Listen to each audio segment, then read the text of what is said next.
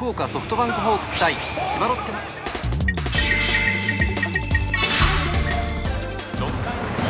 回の裏ホークスの攻撃。打順は8番森。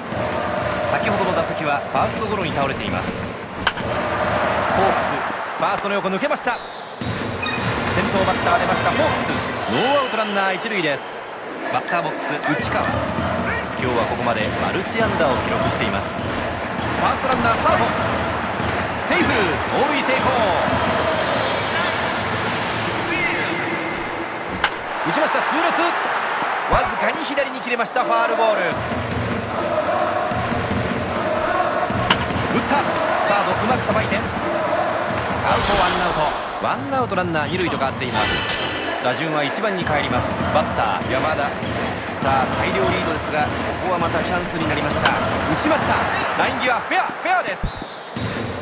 セカンドランナー三塁があってホームを狙うバッターランナーは二塁でストップ。ホークス1点追加します。ソフトバンク打ちに打ちました。